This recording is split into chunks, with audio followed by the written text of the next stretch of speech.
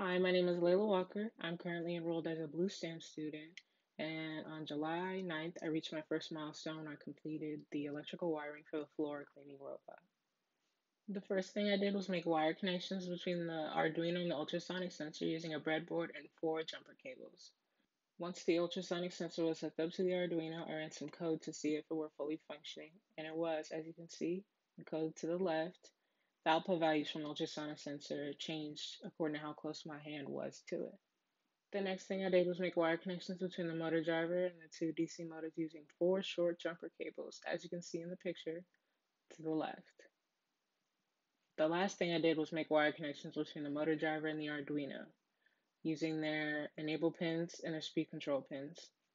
After that was out of the way, all the electrical components of the robot were fully attached, fully functioning, and I was ready to move forward. That's when I reached my first milestone on July 9th.